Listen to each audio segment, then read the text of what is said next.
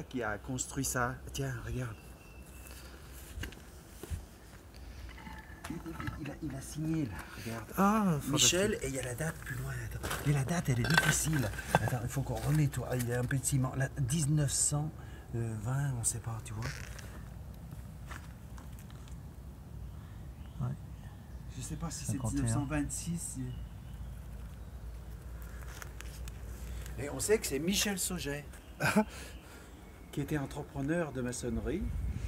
Il a pris les matériaux ici, ici,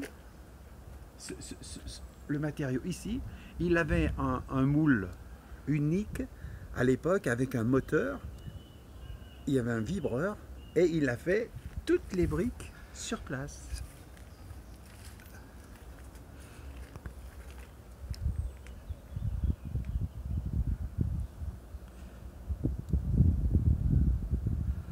Et Michel Sauget, son, son petit-fils, me dit Putain, on l'a balancé il y a deux ans, ce, ce, ce, ce- ce moule. Sinon, on l'aurait mis là-dedans, tu comprends, pour Mm. montrer euh, le savoir-faire, euh, machin.